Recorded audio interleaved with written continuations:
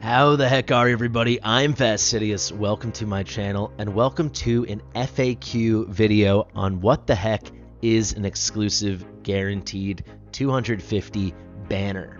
So I've been playing Watcher of Realms since just a couple weeks after global launch. I have been here for all four now. Lust will be the fourth exclusive 252 summons guaranteed hero banner. So I think I'm a good authority on exactly how these banners work. I get many, many questions, especially leading up to them, asking how does it work, these specific things. So I've gathered a little frequently asked questions list. I'm just going to answer them, break them all down, and hopefully give you all the clarity you need so you know exactly the mechanics of this kind of rare but very exciting banner. Let's get into it. Fastidious. Fastidious. Alrighty, friends. So I figure let's read the exact words of Moonton of the devs themselves from the in game event notice, and then I'll address the most frequently asked questions. Invocation of Oath, Legendary Hero Lust is guaranteed within 250 summons. So currently, Lust is the guaranteed exclusive hero. If you're watching this in the future, Everything I will say in this video holds true for all exclusive heroes, all guaranteed banners. Requirements to unlock this event, you need to have a certain account level, have beaten campaign normal 1-9, so on, so on. The event exclusive legendary hero can only be summoned during this event. This means this hero will not then be joining the normal summoning pool. Exclusive heroes are exclusive. They're only available during their exclusive guaranteed banners. While the event is live, base drop rates of heroes within the same rarity will remain the same. However, the drop rates of the following heroes in Invocation of Spirits will be 10 times higher the original rates. So, this is a change on this specific exclusive banner. Uh, it has in the past been there was one rated up legendary, the exclusive hero themselves, and then a rated up epic. Here you can see this is a unique one because we have Lust, who is the exclusive hero. She is on rate up, on a 10x rate up, as well as Arrogance. They have a partner bond. He's another very fantastic, very rare legendary, but not an exclusive legendary, right? He is part of the normal hero pool. Finally, the most important part Lust, or whatever the exclusive hero, is guaranteed within 250 summons, regardless of any other legendary acquired during these 250 summons.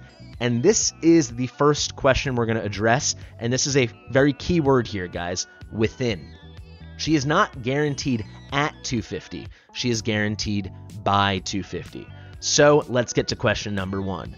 What is the guarantee? What happens if you pull Lust before 250? So, at 250, if you have yet to pull Lust, you are guaranteed that that 250th summon will be Lust. Or for any exclusive hero, any guaranteed hero, you're guaranteed that it will be them.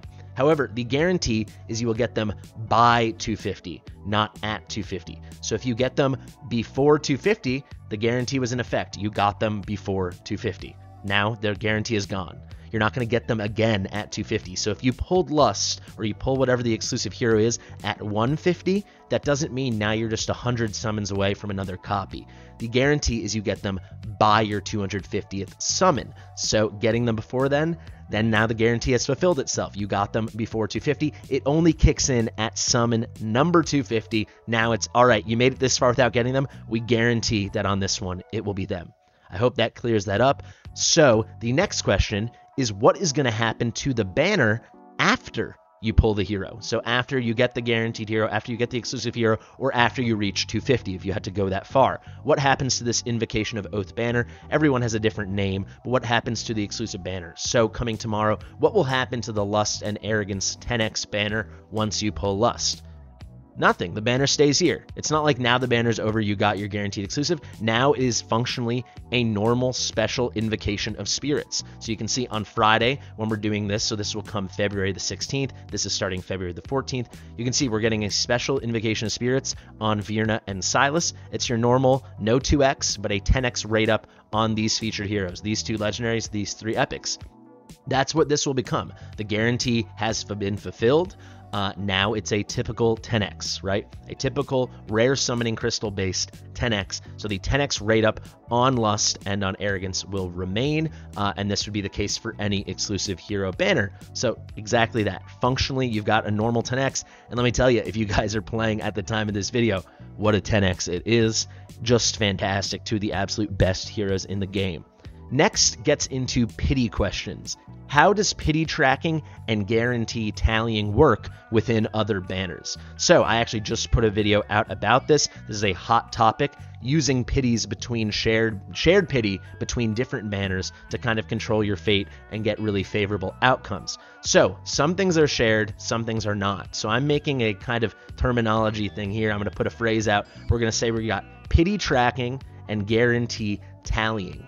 So while you are summoning within the exclusive banner, every summon adds onto your tally heading towards 250 that will then come into effect at 250 if you have yet to get the exclusive hero. That tally grows when it's 250, you're guaranteed that 250 is that hero.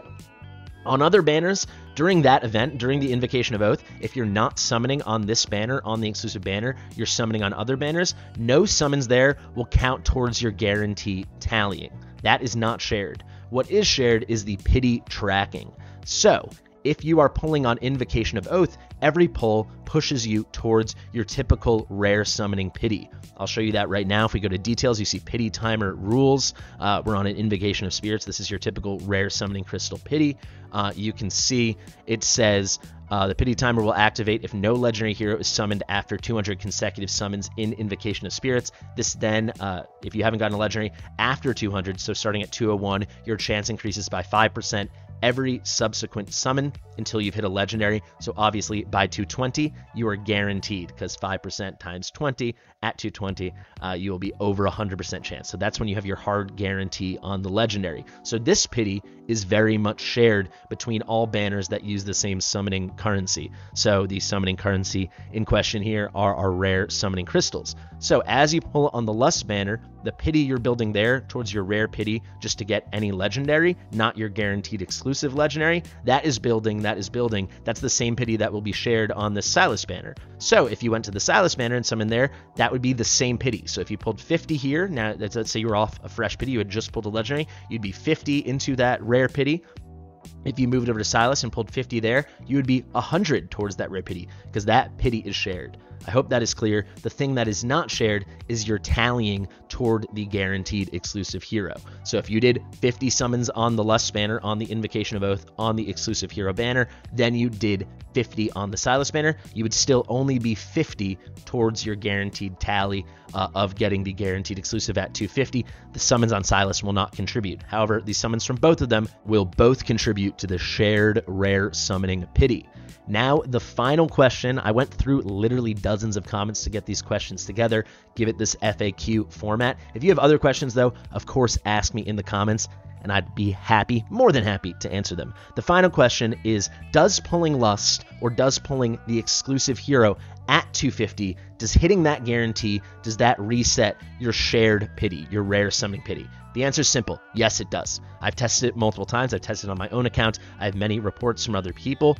Uh, getting that guarantee, it's really nice because you're guaranteed to get that legendary. However, it will reset your pity. So you'll be back at zero when it comes to tracking your pity timer right? So that is where some technique comes into play with having interactions between the two banners. Let's say you are 190 summons or 195 summons into pity on the on your general shared rare summoning pity, and then you hit 250 on Lust, which you knew 100% chance, regardless of pity, on 250 if you had yet to get her, yet to get the exclusive hero, it was guaranteed to be a legendary, to be that exclusive legendary, to be Lust. You would have wasted that pity, right? It would be the same thing if you were at zero pity or 219. At that point, uh, that is where you need to be very cognizant of tracking your pity, but also keeping an eye on your guaranteed tally. So, the optimal situation is to be off a fresh pity, and that's when you hit number 250 and you get your guaranteed legendary exclusive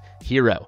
That's going to be the FAQ, guys. I really, really hope I was super duper clear and then I help anyone for this Lust banner and the Silas banner, but certainly anyone else in the future when, you know, it seems as though about every two months we get a new guaranteed legendary exclusive hero, and they're pretty awesome heroes. And in the case of Lust, they are shockingly awesome heroes. So I really hope this helps. Guys, if you have any more questions, again, let me know in the comments. If you like my stuff, like it. Absolutely hit that notification bell and turn on all notifications. Subscribe, share it with your mother.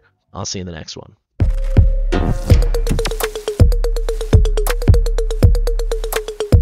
Fastidious